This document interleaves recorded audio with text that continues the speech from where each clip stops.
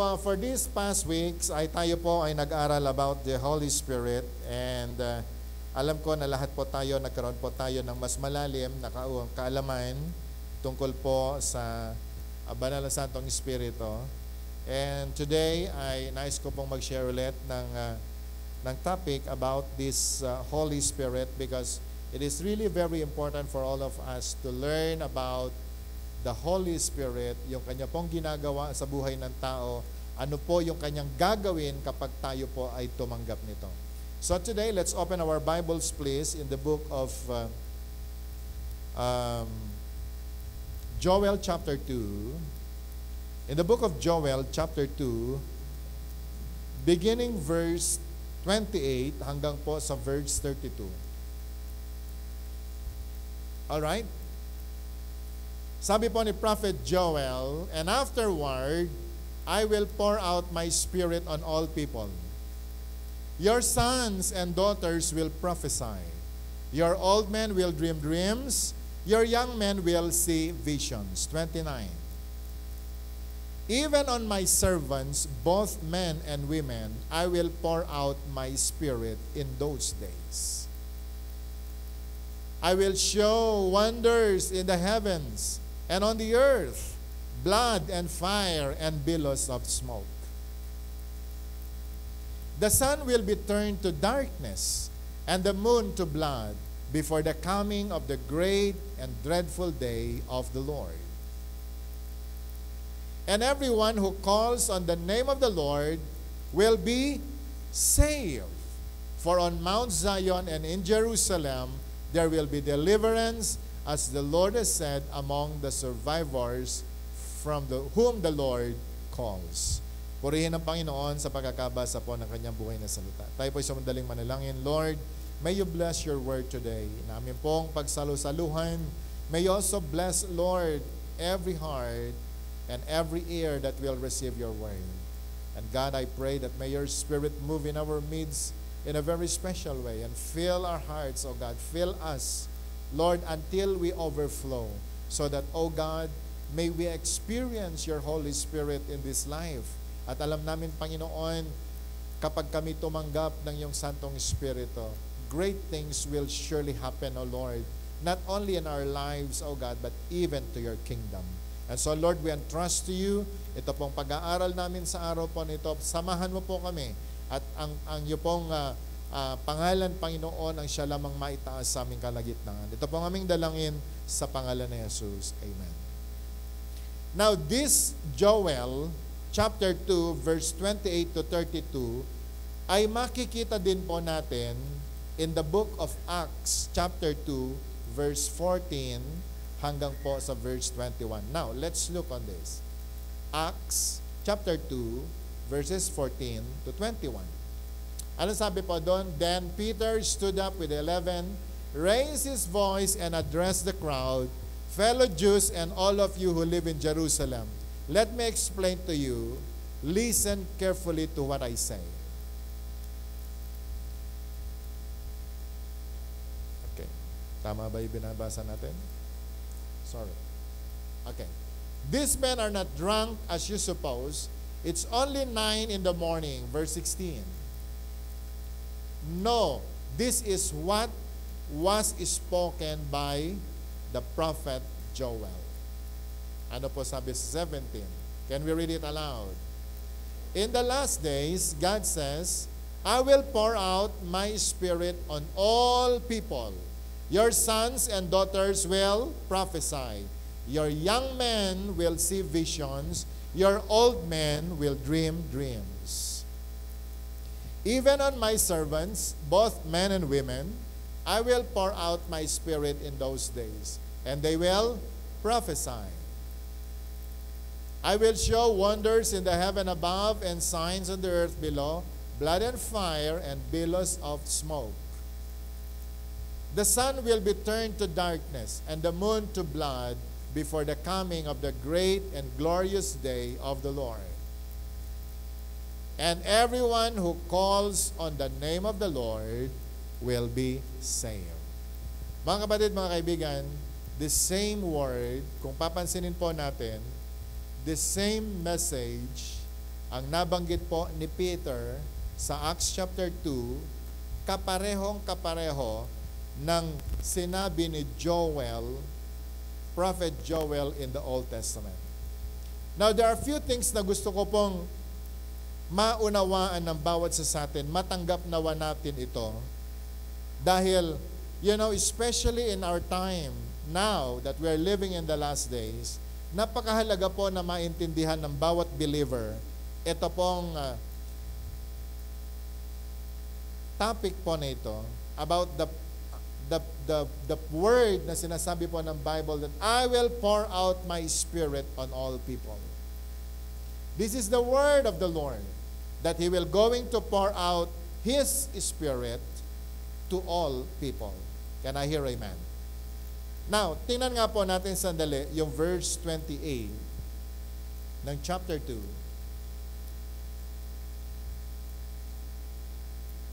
Sabi po ni Joel, And afterward I will pour out my spirit on all people. Now, dun po sa first sentence na mababasa po natin, gusto ko pong bigyan natin ng pansin yung sinasabi po ng Bible that I will pour out my spirit on all people. Pwede po ba natin sabihin? I will pour out my spirit on all people.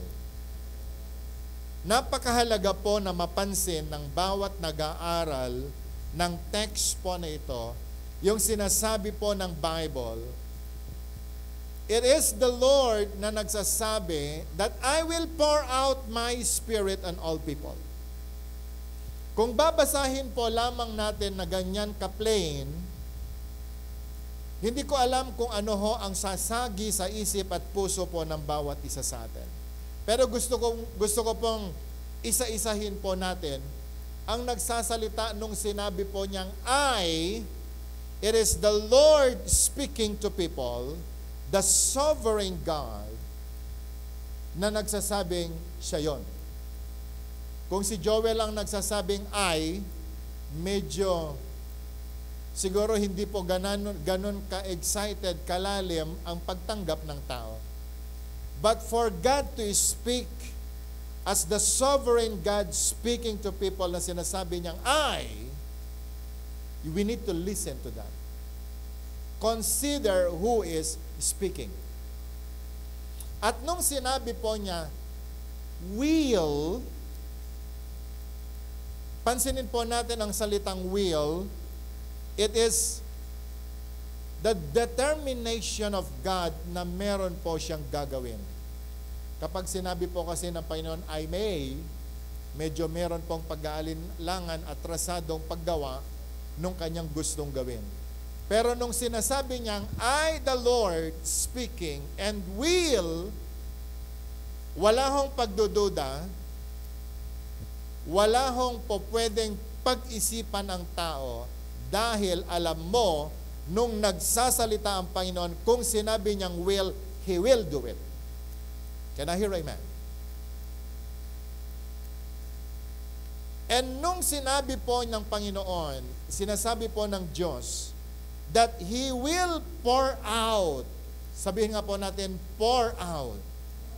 Say it again, pour out it talks about the generosity of our God. At ano daw po yung ipo-pour out ng Panginoon? Sabi po ng Bible, My Spirit.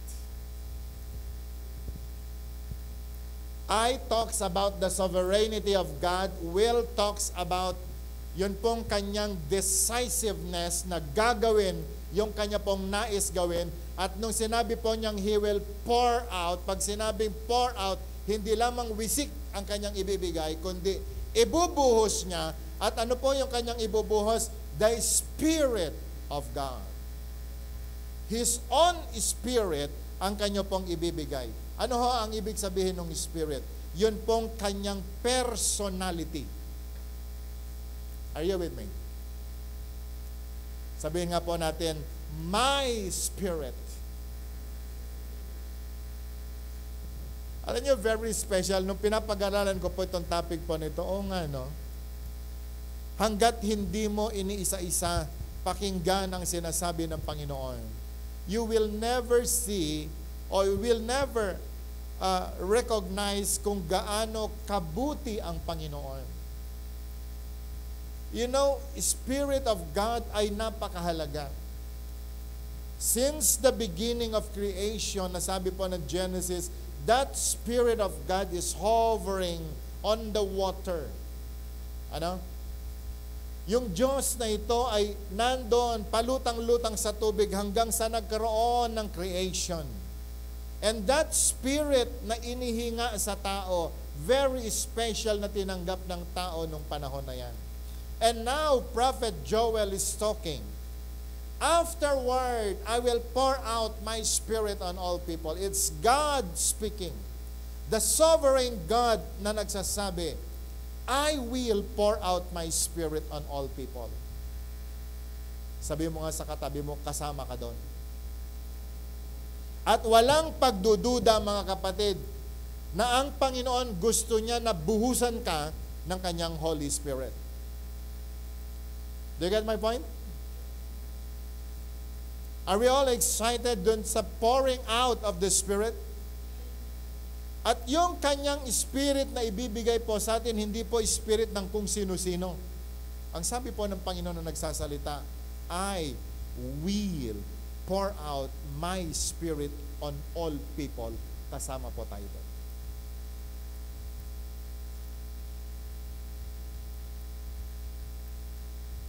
This is one of the greatest statement na maririnig po natin na mababasa po natin sa Bible. Alam niyo kung bakit ko sinabing greatest statement? Ang tao sa mga panahon po nito, kahit naman nung unang panahon, meron po tayo mga pangangailangan sa Diyos. Can I hear amen? You know, in the Bible, ewan ko kung nabasa po natin, the spirit is willing but the flesh is weak.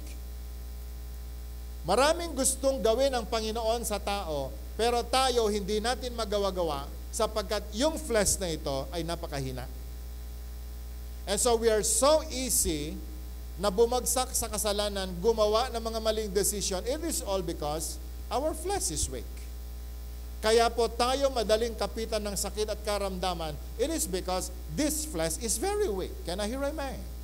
Kaya po tayo madaling mapagod at hindi po tayo makagawa ng to the extent na ang Panginoon ay mag-glorify sa mga gawa natin, it's because our flesh is weak. Kaya hindi po nakakapag-isip ang tao ng ganun kaganda, ng ganun kabuti, because our flesh is weak.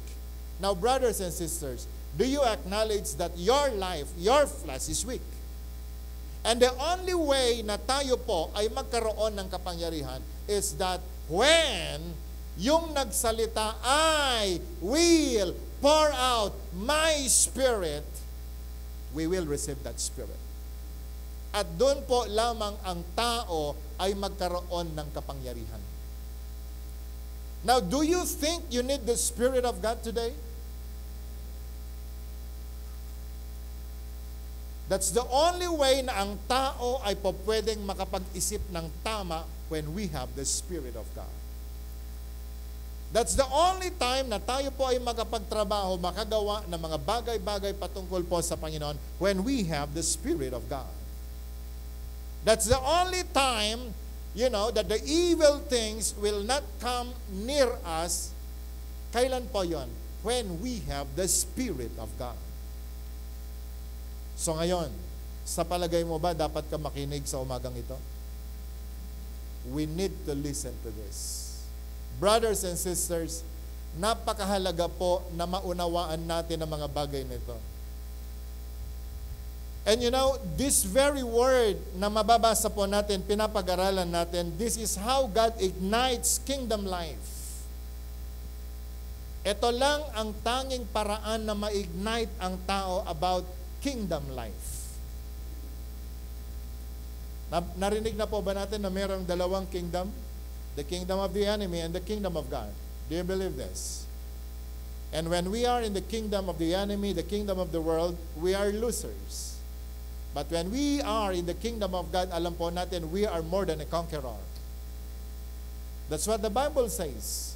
At napakahalaga po na maunawaan natin ang bagay po na ito.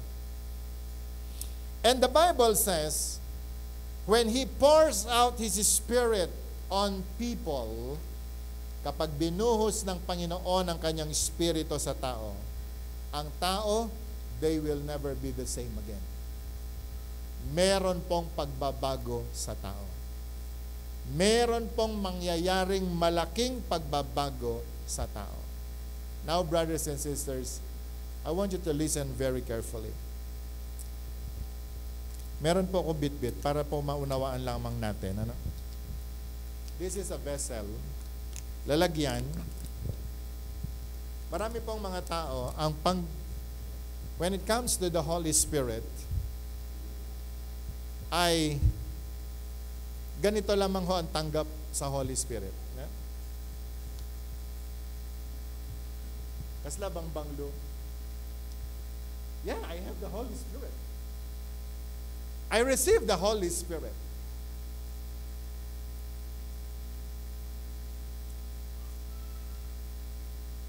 Can I hear that? Kapag dumaan sa labas, pag sumagi sa poste, sumagi kung saan, nawawala po yung Holy Spirit.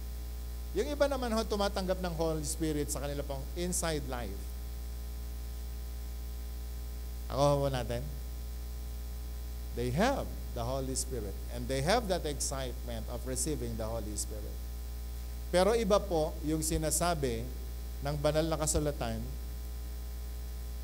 when the Spirit sabi po ni Jesus, ang sabi po ng, ng Panginoon, I will pour out my spirit. Can I hear amen? Nakikita po ba natin? May malaking pagkakaiba yung nawisikan ka lang ng Holy Spirit doon sa maranasan mo yung tinitawag ng I will pour out my spirit. A lot of people, they receive spirit. Pero tanong, is this the Holy Spirit?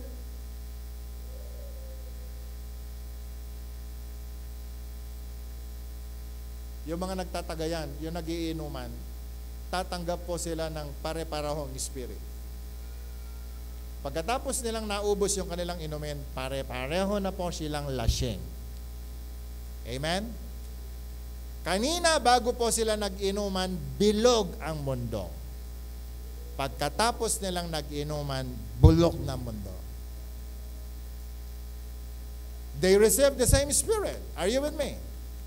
Nasubukan nyo na po bang naki, nakipag-usap sa mga taong galit? Pagkatapos mong pakinggan yung istorya ng taong galit, ikaw din, galit ka na din. And this is what we call transference of the Spirit and you receive the same Spirit. Do you get my point? Can I hear amen? Can I hear amen? Mga lalaki, nasubukan mo bang naupo sa isang kwentuhan na yung nagkekwento masyadong green? It's not about political color. Bastos ang kanyang bibig. At yung nakikinig, hindi nyo ba naiintindihan, hindi nyo ba naobserbahan, pagkatapos ng usapan o habang nag-uusap, green na rin ang mga taong nakikinig.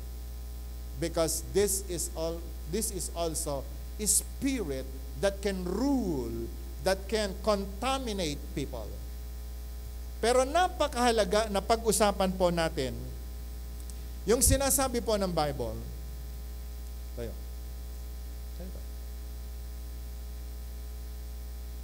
Nung sinasabi po ng Panginoon, you are a vessel, tayo po yung tao na sinasabi po ng Bible, and now, God is speaking, I will pour out my spirit.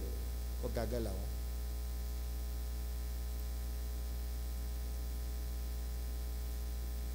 Can I hear amen? At alam ho ninyo yung tatanggapin mo? The Spirit of God.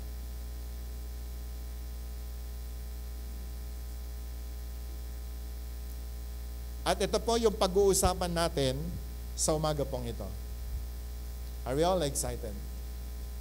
Now, this is a promise na sinabi po ng Bible. Point number one in our lesson, this is a promise for the last days.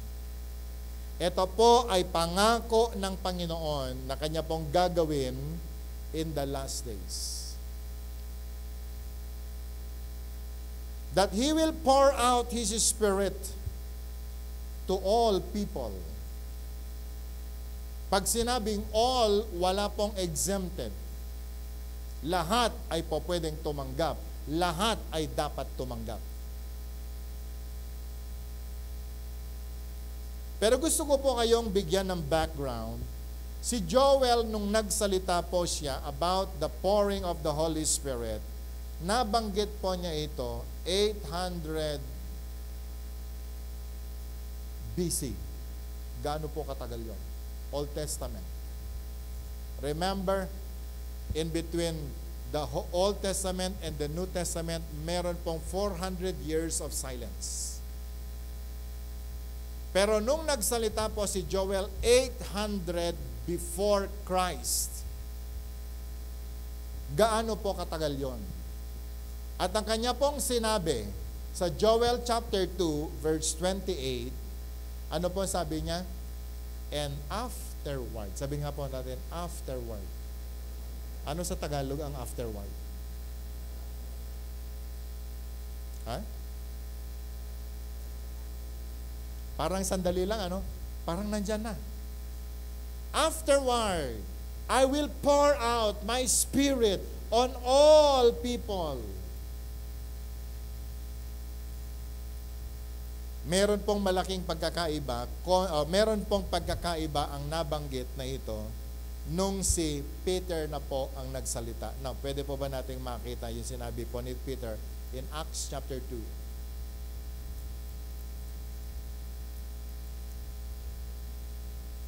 Ano po ang kanyang sinabi? In the last days, God says, I will pour out my spirit on all people. Kailan nabanggit po ni Peter ito? Ilang araw lang pagkatapos namatay ni Jesus. Pagkatapos umakyat ni Jesus sa langit, doon po binanggit ni Peter yung salitang, in the last days, God will pour out His Spirit. God will pour out His Spirit. At alam niyo mga kapatid, naranasan po ito ni Peter. Naranasan ng bawat believer nung araw. And you know, it is God's perfect will at ito po yung kanyang gagawin na sinasabi po niya, He will pour out His Spirit to all people, He will surely pour out His Spirit. At hindi po lamang nung panahon po ni Peter, hanggang ngayon ay ibinubuhos po ng Panginoon ang kanyang Spirit sa lahat po ng tao. Do you believe this? Anong rason? Bakit kailangang ibuhos ng Panginoon ang kanyang Spirit sa lahat po ng tao? Now, Acts chapter 1, Acts chapter 1 verse verse 8.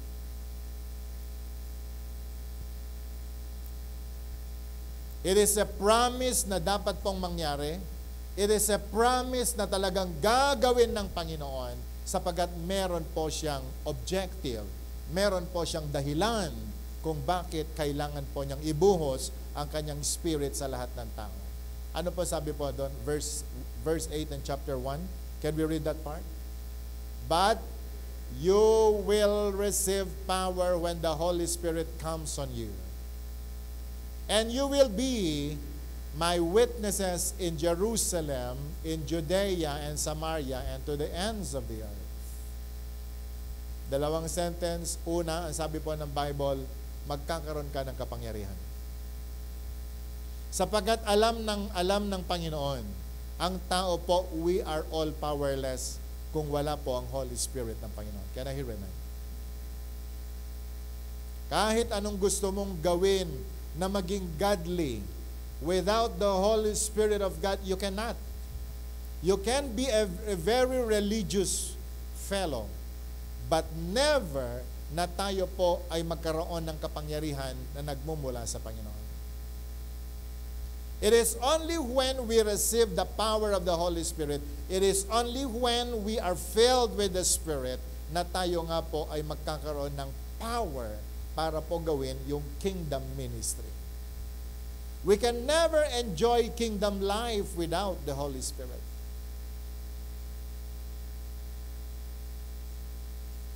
And then after receiving that Holy Spirit na pinangako po ng Panginoon, ang sabi po ng Bible, there magkakaroon po na tayo ng kapangyarihan to witness about Jesus. Doon pa lamang tayo makapagsasalita ng tungkol sa Panginoon, ng tungkol sa salita ng Diyos when we receive the Holy Spirit. We can be the witnesses of God in Jerusalem, in Judea, in Samaria, and everywhere doon lamang tayo magkakaroon po ng kapangyarihan. Kaya nga po, in our topic, nilagay po natin dyan, it's a promise for the last days. Ngayon, mga kaibigan, maririnig po natin kaliwa, kanan, puro kasamaan. Amen?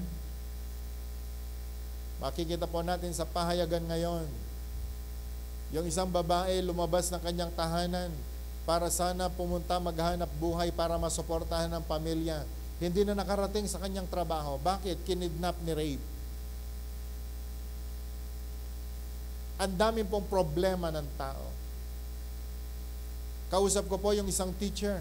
Kailan lang umattend po ako sa ng, ng isang birthday. Ha? Isa po siyang high school teacher.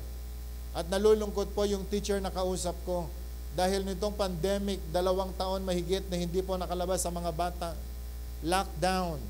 Ang sabi niya sa amin, Pastor, alam niyo ba, marami kaming mga estudyante, nagsipagbuntis, nag-anak, at hindi na nakapagpatuloy sa pag-aaral dahil sa problemang ganito.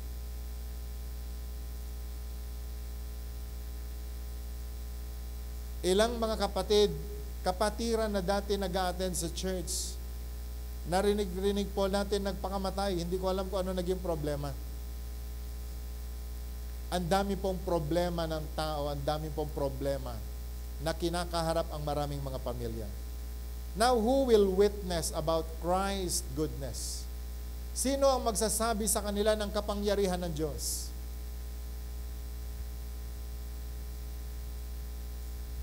Pwede ba tumingin kayo sandali sa akin?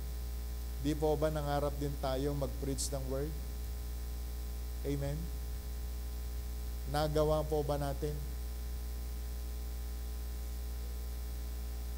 Pastor, ewan ko ba?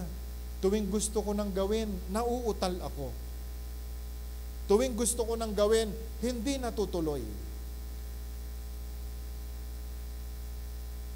But listen today, brothers and sisters. Meron pong promise ang Panginoon that in these last days, God will pour out His Spirit. Kasama ka po ba sa last days na ito? Kasama po ba tayo dun sa sasabihin ng Panginoon na bubuhusan ko ng aking Espiritu ang lahat ng tao? Sabi mo nga sa katabi mo, kasama ba tayo doon? Kasama po tayo doon. And I believe in my heart, we are all called by God to receive the promised Holy Spirit before it's too late. It is only when we receive the power of the Holy Spirit that we can be witnesses of Christ, that we can testify about God, we can testify about Jesus. It's only when we receive the Holy Spirit.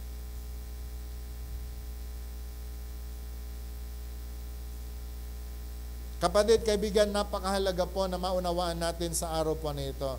Meron pong pangako. Sabi nga po natin pangako. At ang nangako ay ang Panginoon. I, the sovereign God, will yung kung gaano kadesidido ang Panginoon na gawin ito. And pouring out His Spirit, hindi po lamang maliit na bahagi ng Spirit ang ibibigay sa iyo. Sabi mo nga sa katabi mo, God will pour out His Spirit on you. Are we all excited? Can I hear amen? And alam nyo, ito po yung pangako ng Panginoon sa lahat ng tao. At ang nangako, hindi po si Joel. Ang nangako, hindi po si Peter. Ang nangako, hindi po si Pastor Danny.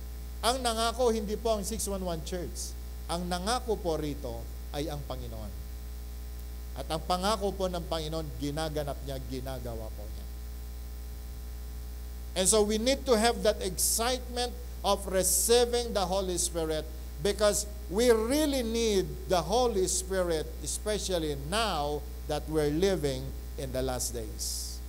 Amen.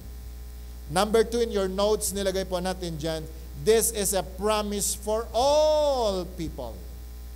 Pangako po ng Panginoon ito sa lahat ng tao.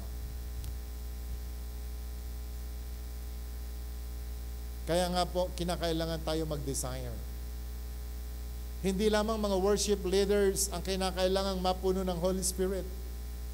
Hindi lamang mga pastor ang dapat mapuno ng Holy Spirit. Amen. Hindi lamang yung mga lay leaders ang dapat mapuno ng Holy Spirit. Dahil ako naniniwala, lahat po tayo tao. Amen. Sabi mo nga sa katabi mo, tao tayo. At ang pinangakuan, lahat po ng tao. Amen. Pera lang, makinig kayo mabuti. Pera lang kung sa tingin ninyo, yung mga worship leaders lang ang tao. Eh ano, sino tayo? Kasi alam niyo sa church, meron pong ganitong intindi ang marami. Ah, sila na lang ang ma-feel ng Holy Spirit.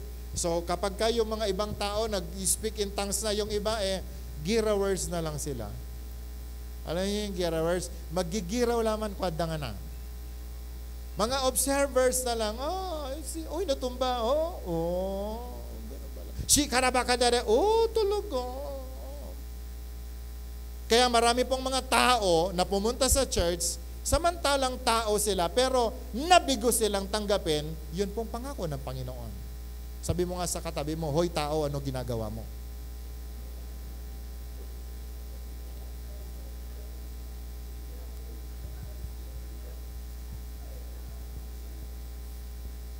Nakakaunawaan po ba tayo? Eh yung mga pastor lang. Kaya kapag nagtatawag pa tayo, sino gusto tumanggap ng Holy Spirit? Yung iba ayaw. Yung iba, tinutulak na pumunta ka na. Kailangan mo Holy Spirit. Kasi mas marami kang problema. Di ba? O kaya dinadala po natin yung mga kapatid natin, ano, ng mga broken hearted, di ba? Yung hiniwalayan ng asawa, parang sila lang ang kailangan, mga kailangan ng Holy Spirit. Wrong. Nag-uusap po tayo mga tao. Tao ang kailangan ng Panginoon ngayong araw na ito. Are you with me? Tao ang hinahanap ng Panginoon ngayon para buhusan niya ng kanyang Holy Spirit. Alam niyo nung araw yung donkey nagsalita, kasi walang taong available. Sabi po ng Bible, wala bang magpupuri sa akin na tao? Then I can make the stones to worship me. Nakakahiya naman yata. Yung tao nanonood, yung mga stone nagsasabi, ah, ang buhay kristyano. Ah, Sabi mo nga sa katabi mo, hoy, tao ka. Tinatawag ho tayo ng Panginoon. Nananawagan ng Panginoon sa lahat ng tao sa mga panahon po na ito. May pangako ang Panginoon. Excited ang Diyos. Ibubuhos ang kanyang Holy Spirit. Tumingin sandali sa stage, kapatid. Alam nyo sa Old Testament, in the creation, the Spirit of God is hovering.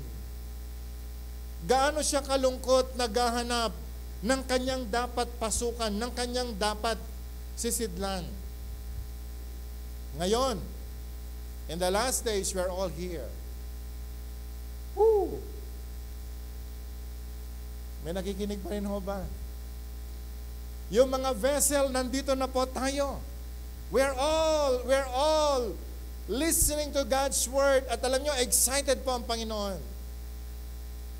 Kahit tuwan-tuwa po ako, kahit na nagtakin na kayong araw na para ipakita po sa inyo yung laki ng aking tiyan.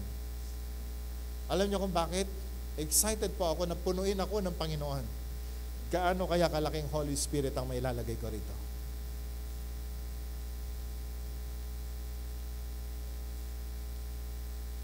yung katabi mo, ikaw, ganong kalaking Holy Spirit gusto mong tanggapin? Sa name's pray.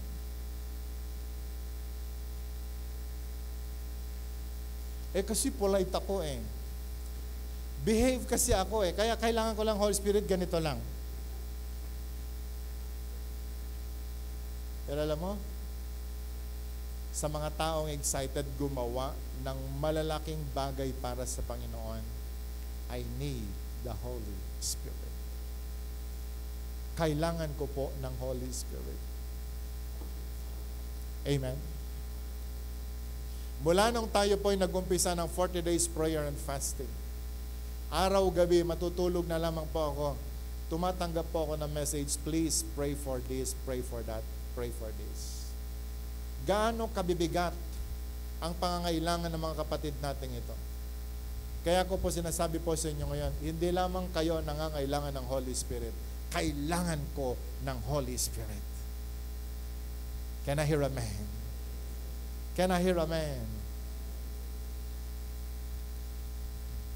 Now, this is a promise for all people in chapter 28. In, in verse 28.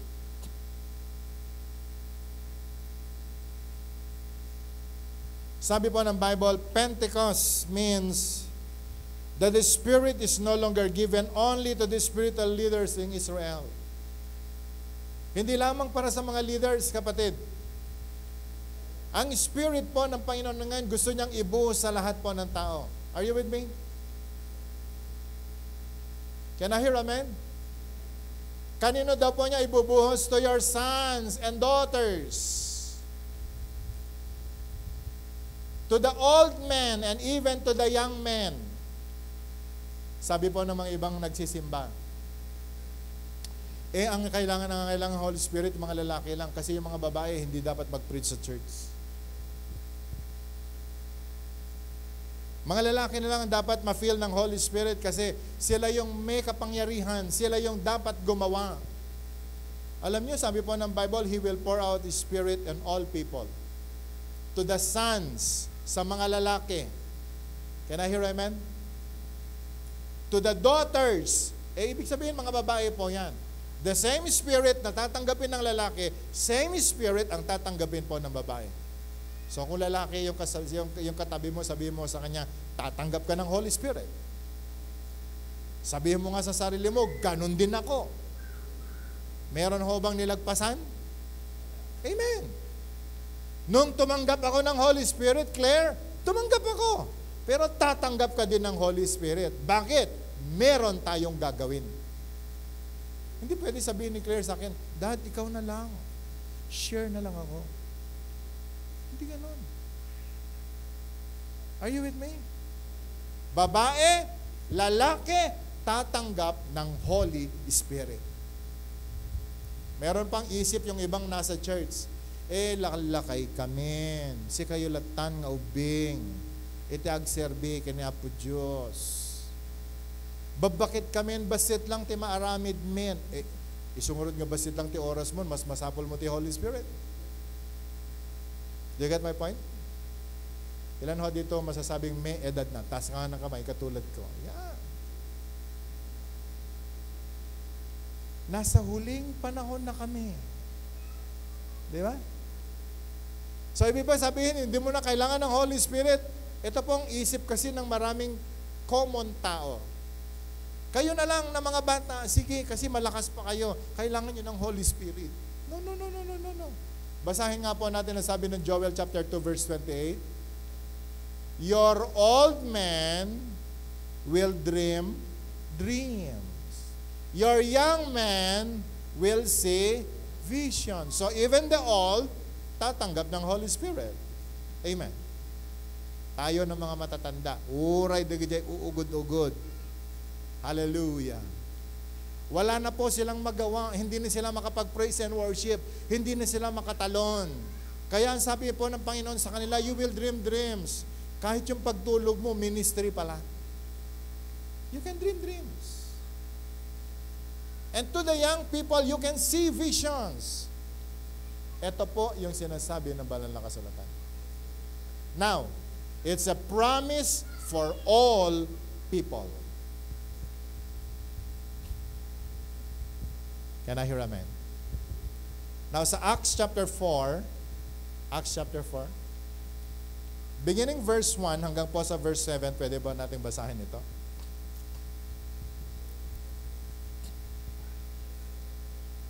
Now, can we read it aloud? The priest and the captain of the temple guard and the Sadducees came up to Peter and John while they were speaking to the people. Verse 2.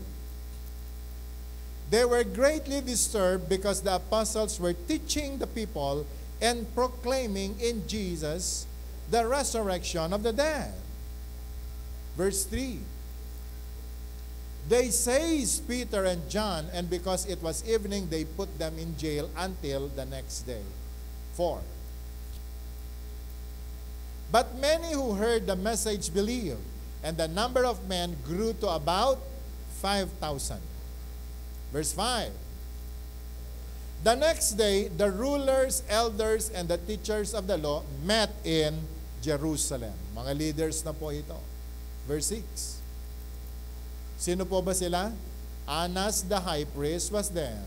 And so were Caiaphas, John, Alexander, and the other men of the high priest's family. Verse 7. They had Peter and John brought before them and began to question them by what power or what name did you do this? Nangyari po ito kasi mga kapatid, nung si Peter at saka si John, nagpray po sila ng lame. Born lame. Sa loob pa lamang ng tiyan ng nanay niya, meron na siyang problema. At yung lalaki po na ito lumaki, every day dinadala po siya sa templo para po manghingi. Nung dumaan si Peter at si John, nakita yung lalaki na ito, nagpapalimos para po siya ay mabuhay. Nung tiningnan siya ni Peter, sabi ni Peter ganito, Wala akong pera, no silver, no gold. But what I have, I will give it to you. Born lame, sabi po ni Peter kay dito po sa taong ito, tumingin ka sa akin. At sabi po ni Peter, in the name of Jesus Christ of Nazareth, rise up and walk. At alam niyo po ano nangyari? Yung naipanganak na pilay, tumayo, naglakad, tumalon, nagpuri sa Panginoon. At nung narinig, nakita ng lahat ng tao ang nangyari, sila po ay nagtanong, bakit? Anong nangyari? Bakit may mga miracles na ganito?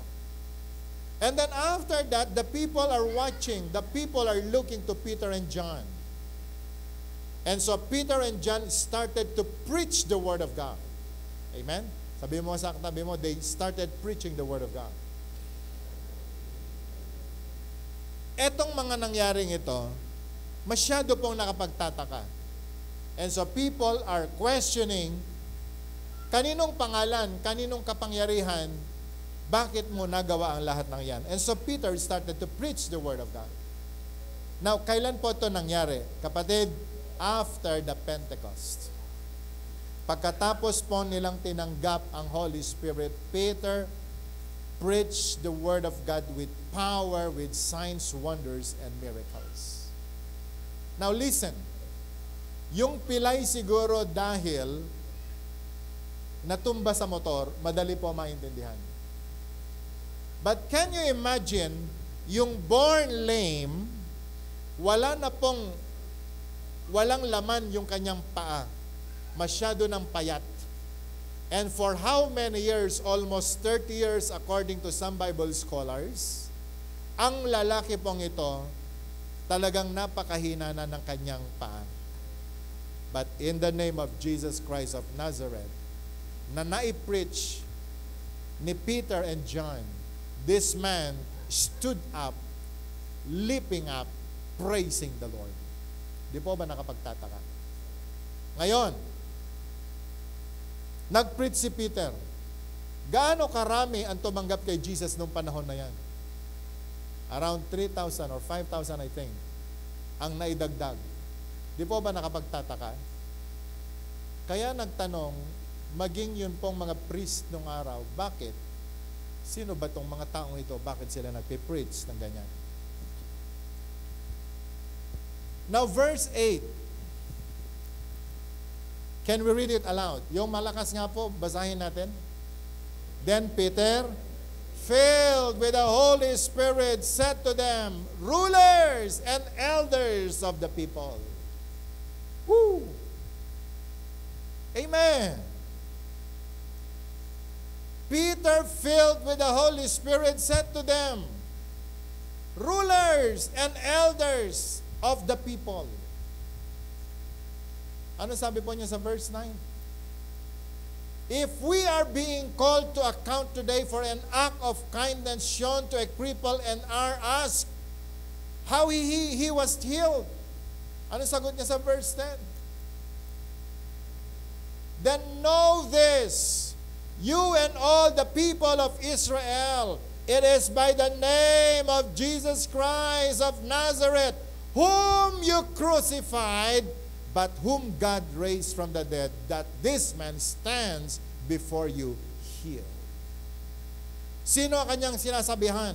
Yung mga pare, yung mga rulers, yung mga nagsasabing, we are the leaders of Israel.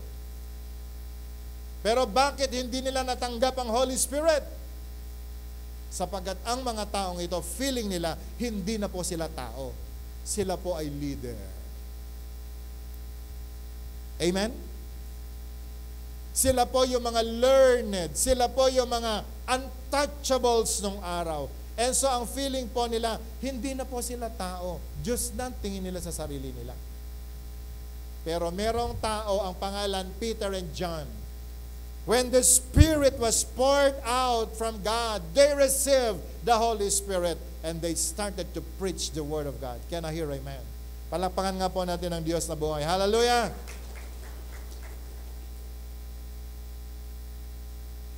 Kaya ko po sinabi, the promise, this promise is a promise for all people, not only for the leaders. Hindi po para kay Caiaphas, hindi po para sa mga kay Alexander na mga special na tao. Hindi. Ang spirit po ng Panginoon ay para po sa lahat po ng tao. Are you with me? Amen. Now, verse 11, ano sabi po ng Bible?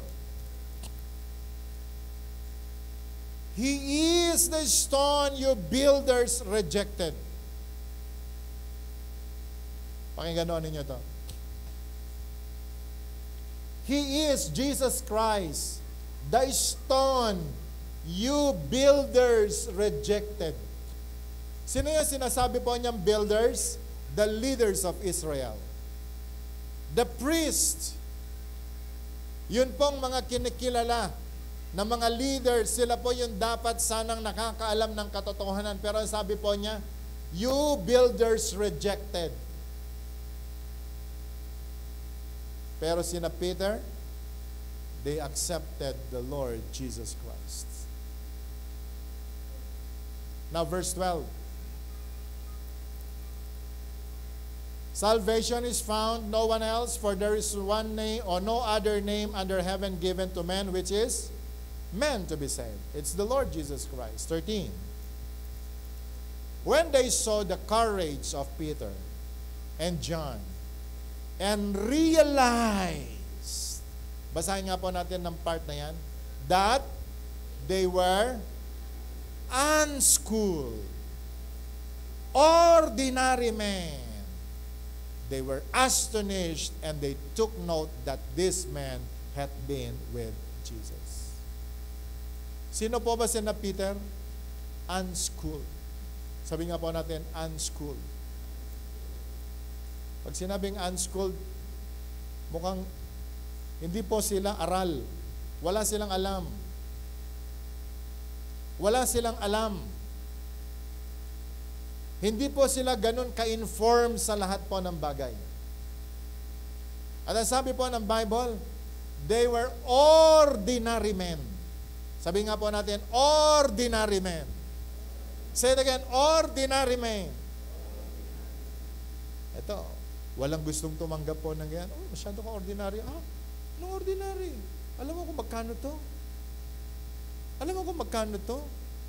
Lahat ho tayo gusto natin na huwag tawaging ordinary, hindi po ba? Wala nga gustong sumakay sa sasakyan ordinary. Meron bang may gusto ng ordinary?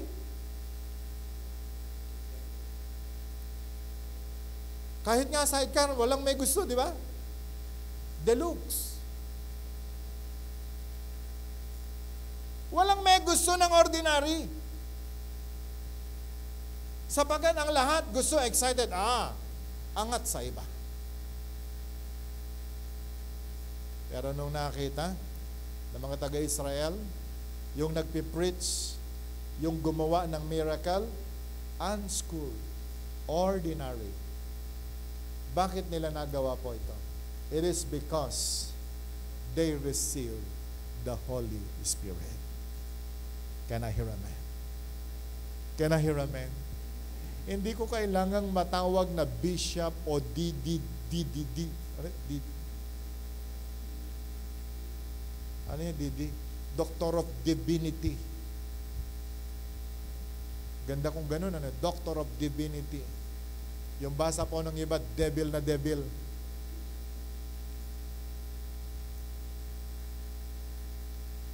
Hindi natin kailangan ng title sa church para lamang tumanggap ng Holy Spirit. Unschooled, ordinary men, but they received the Holy Spirit, they did extraordinary miracles for God's glory. This is a promise for all people. Can I hear amen? Can I hear amen? A promise for all of us. Are we all excited today to receive it? Now, number three in your notes, nilagay po natin dyan, the Holy Spirit is a promise for all groups. Para po sa lahat ng grupo.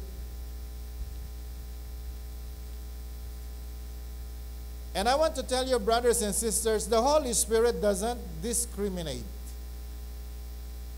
Wala po siyang dinidiscriminate. Tao lang ang nagdi-discriminate. Amen? We people discriminate, but God do not discriminate people. He does not discriminate on basis of sex. Hindi dahil babae ka, eh hindi ka tatanggap ng Holy Spirit. False.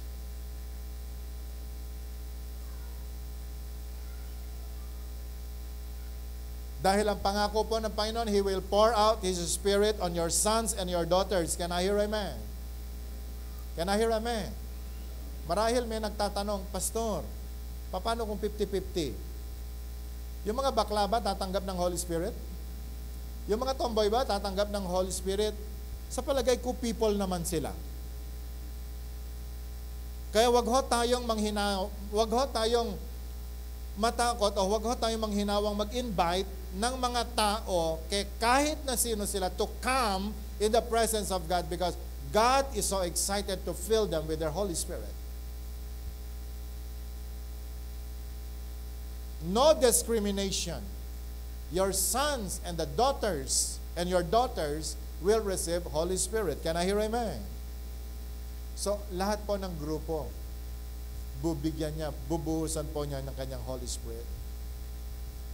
He also do not discriminate of basis of age. Hindi dahil matanda ka na, hindi mo na kailangan ng Holy Spirit.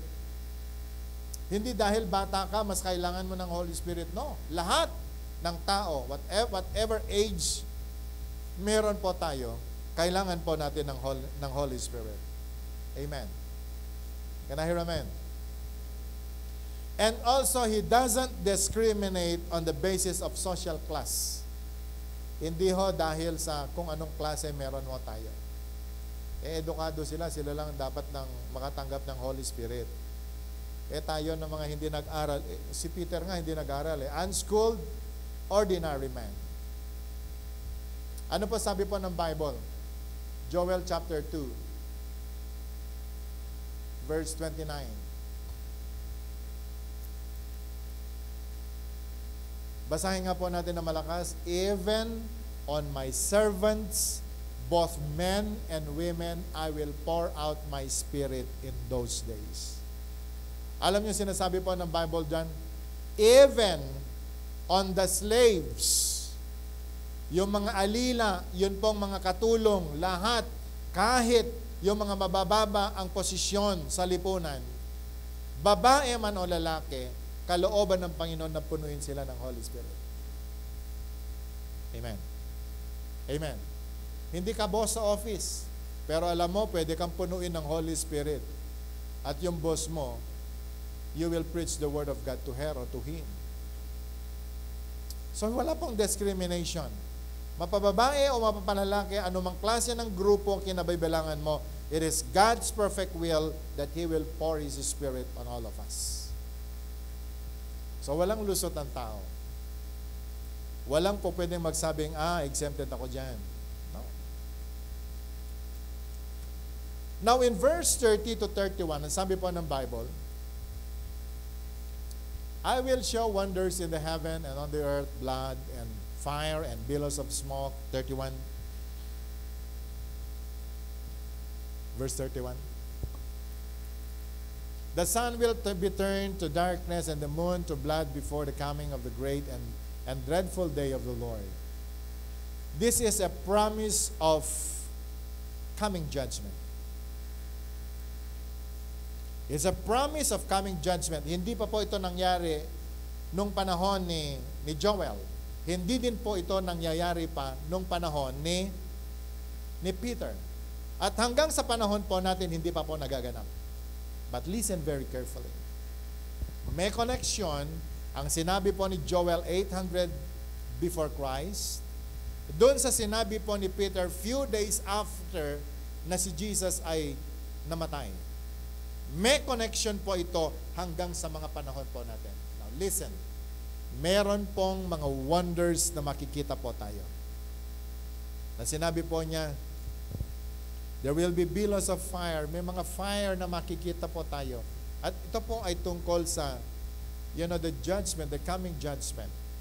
Remember, ang sabi po ng Panginoon sa Bible, He will no more, no more destroy the earth with flood. But in the book of Revelations, it says, He will destroy the creation with a fervent heat. Sisirain niya, gugunawin niya ang buong mundo sa pamamagitan po ng init ng apoy. Now remember, masyado na hong problema tayo sa tinatawag po nating uh, climate change. May sobrang ulan, pero sa ibang bansa naman ang problema po nila ang sobrang apoy. Kaya nga po, marami pong mga bansa ngayon, problema po nila yung wildfire. At ang nakakatakot na nakikita po nila sa iba-ibang mga bansa na nagkakaroon po ng wildfire, meron pong gumugulong na apoy na tumutupok sa napakaraming mga tahanan na napakaraming mga bahay. Praise God, in our place, wala pa pong ganyan. But we feel, lalong-lalo na sa atin ng mga taga-Tugigaraw and Pangasinan and uh, Nueva Ecija, yung sobrang init. Naranasan na po ba natin? Pero hindi pa po ito yung second coming. But meron pong mga nabanggit sa verse 30 and 31. The sun will be turned to darkness and the moon to blood before the coming of the great and dreadful day of the Lord. And who will stand? Sino po ba ang po pwedeng makapag-endure sa mga panahon po na ito? It's only those who are filled with the Holy Spirit. Can I hear amen? And so the promise, holy, the outpouring of the Holy Spirit ay ibibigay niya sa lahat ng tao even in the time and the coming judgment we need the Holy Spirit of God because without the Holy Spirit we cannot endure alam niyo po ba kung sino mapapasama sa rapture? It is only those who receive the Holy Spirit. Yung mga seryosong naglingkod sa Panginoon, tumanggap ng Holy Spirit, sila lamang ang mga rapture. Amen. Can I hear amen? Yung kinatatakutan po natin, tatakan ng 666, anyway, hindi po yung vaccine na pinag-uusapan natin. Darating yan.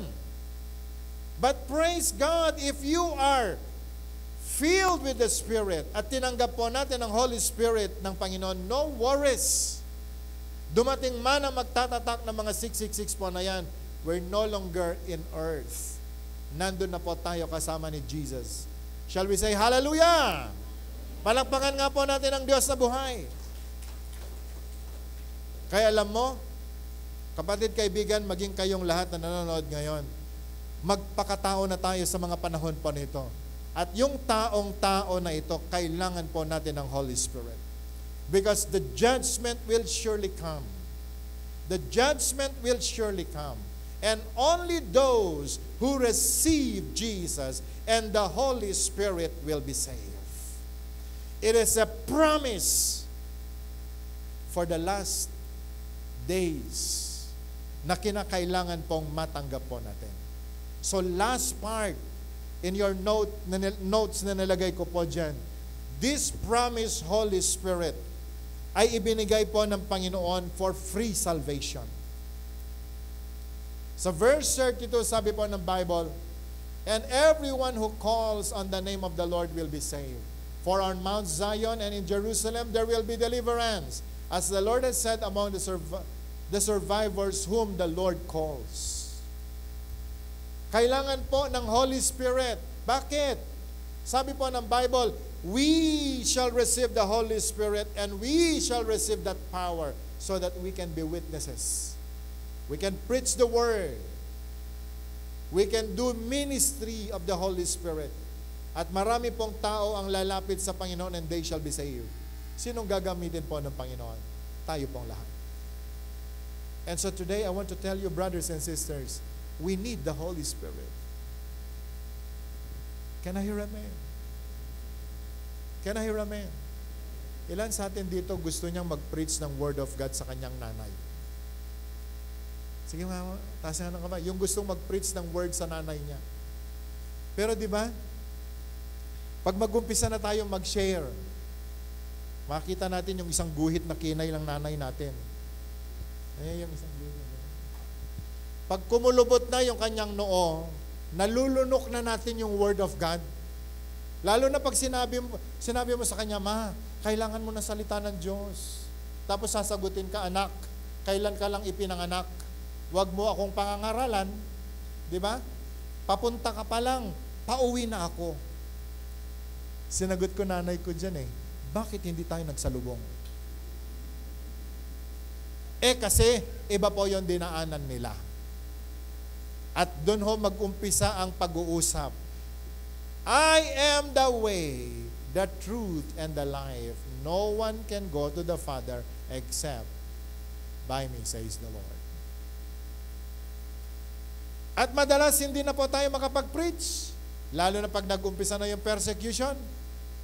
Kailan mo maipipreach ang Word of God? It is only when you receive the Holy Spirit. Amen. Dahil pag sinumpa ako ng nanay ko at sasabihin niya sa akin, huwag kang mangangaral, pagagalitan kita, mangangaral pa rin ako. No longer me. It's not by might, nor by power, but by the Spirit, says the Lord. Huwag kang mangangaral, wala kang allowance, so okay. No problem.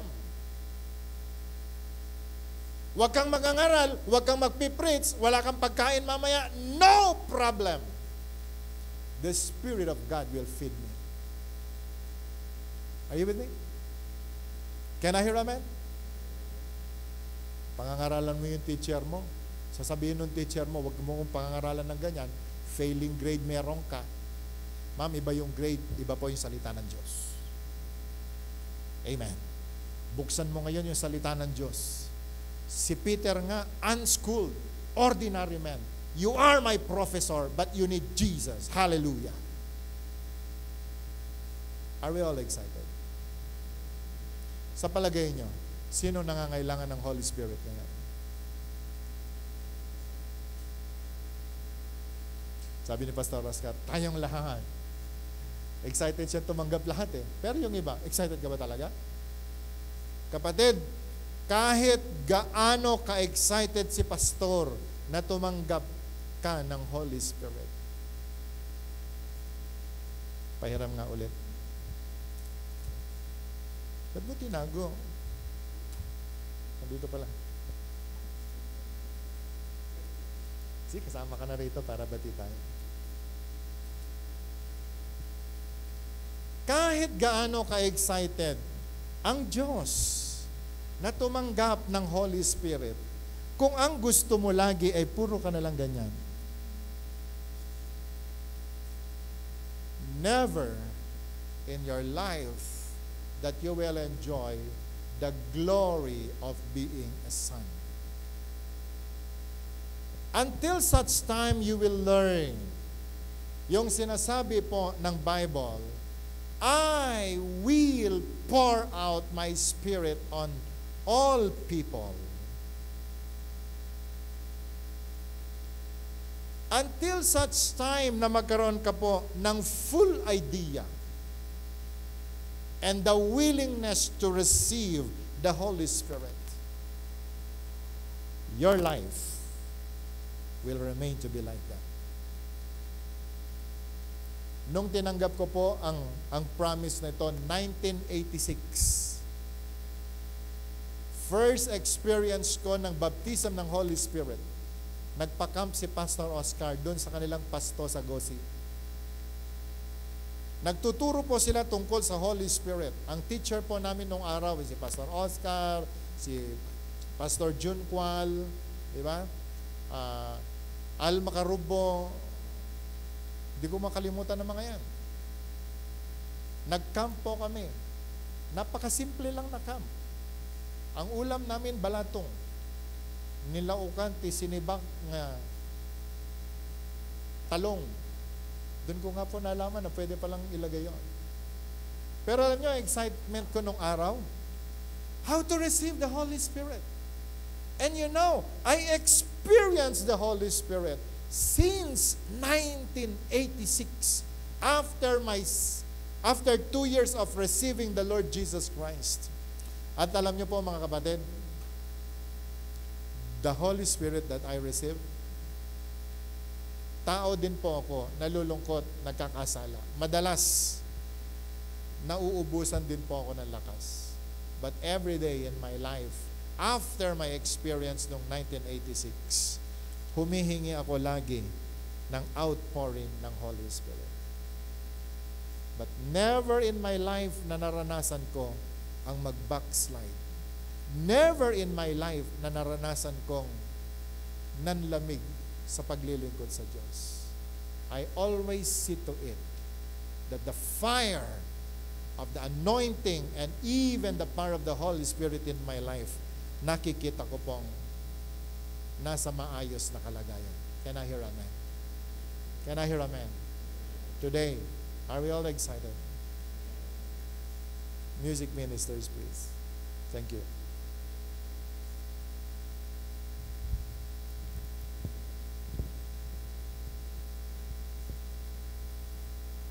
Worship leaders, please come with you.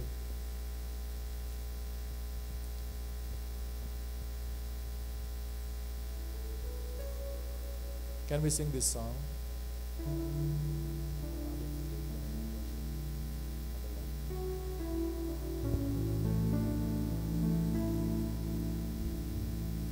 I think next time the worship leaders will sit in front. Can we do that?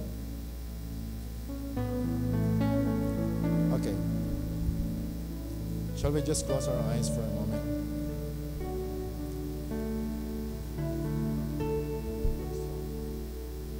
Hallelujah.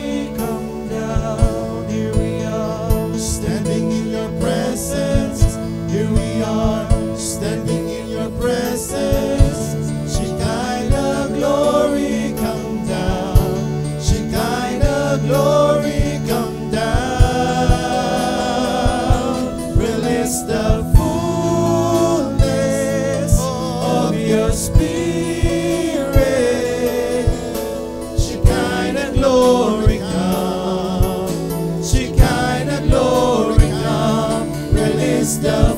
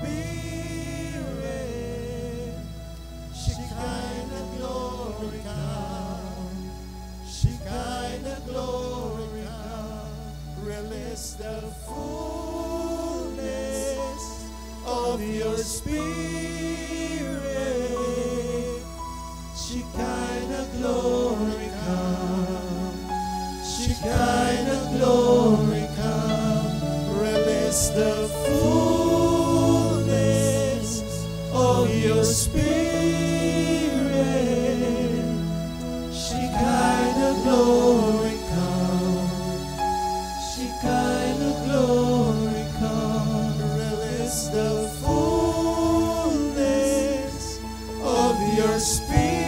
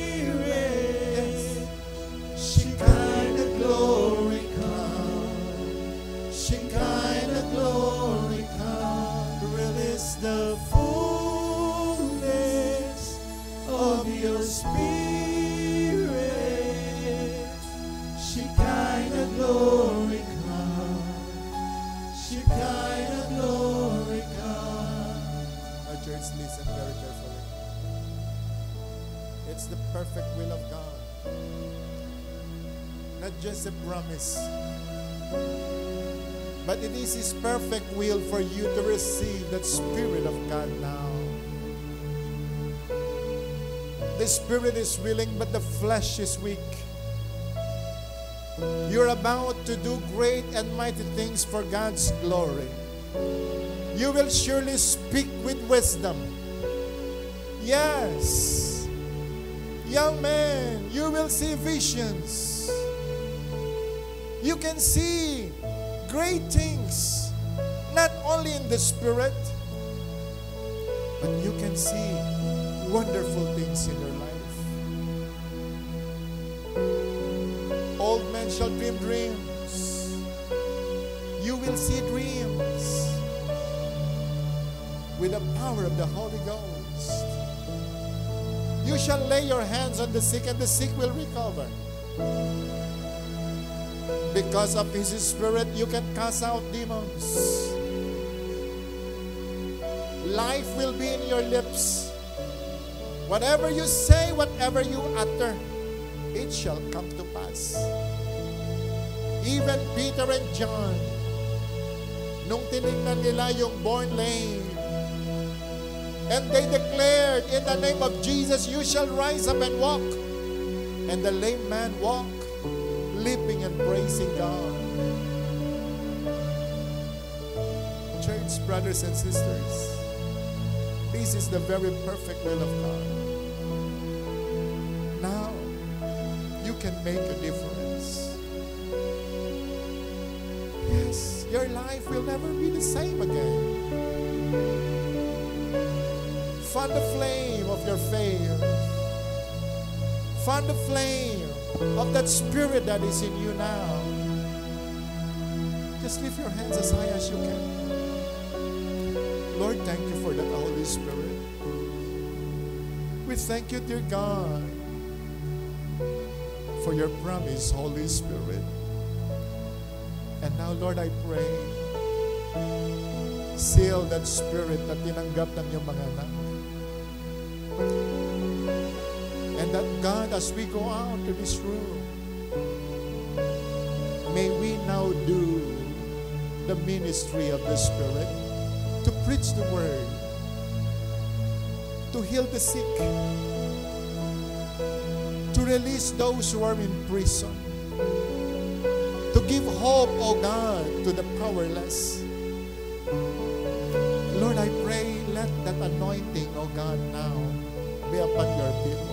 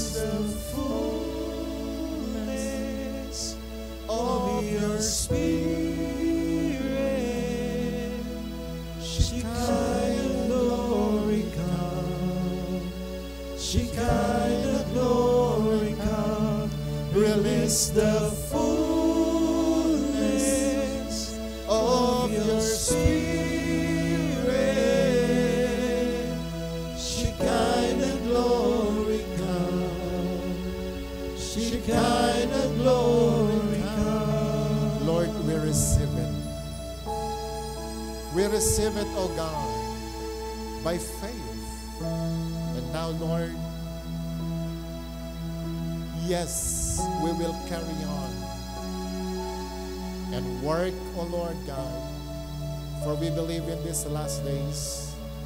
You're looking for your witnesses. And we are your witnesses in these last days to proclaim the year of the Lord, to bestow, Panginoon, and to people yung nais mong matanggap po nila. And so Lord, today, may you bless your people now. Thank you for the healing of our sickness and diseases. Thank you, Lord God, for the breakthroughs na naranasan namin sa araw po nito. And that we claim, Lord, tomorrow will never be the same. Lord God, will be it will be a glorious day every day. Oh God, not by might nor by power, but by the Holy Spirit that we receive today, oh God. We will give you the glory. At Panginoon, sa araw po nito, sama-sama po namin na ibinabalik na sa iyo ang lahat ng papuri at pasasalamat sa pangalan ni Jesus. Amen. Amen. Can we sing that victory song first? Parang palakpak na di nagtagumpay. ah. Palakpakan nga po natin ang Diyos Yes, hallelujah. Sabihin mo nga sa katabi mo, the fire of God is in you. Amen. Hallelujah. Yes, sino po dito ang na-feel ng Holy Spirit? Pumalakpak. Ayan, para mahina. Sino ang na-feel ng Holy Spirit?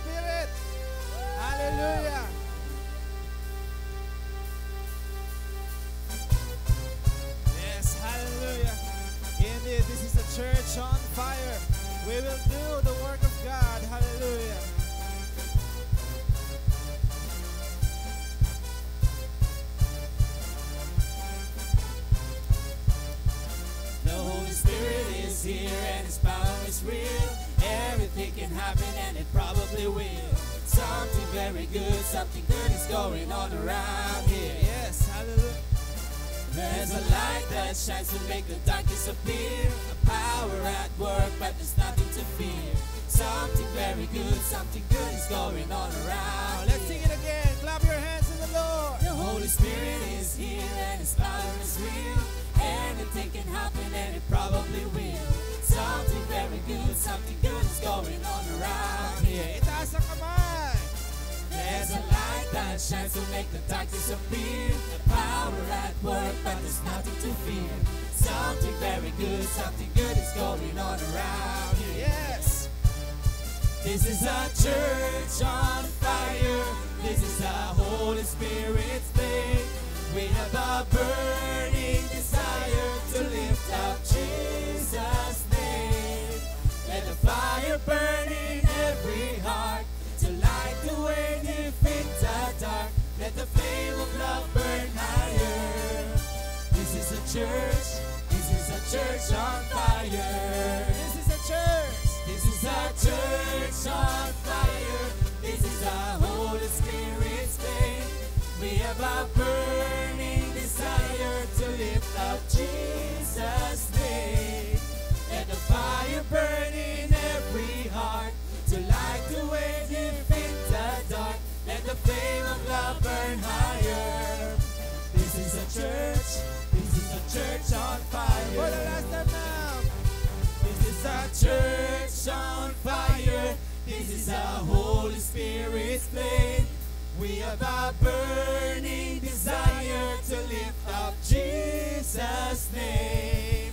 Let the fire burn in every heart to light the way, defeat the dark. Let the flame of love burn higher. This is a church. This is a church on fire. Let the fire burn in every heart to light the way, defeat the dark. Let the flame of love burn higher. This is a church. This is a church on fire. The fire burning every heart to light the way, defeat the dark. Let the flame of love burn higher. This is a church. This is a church on fire.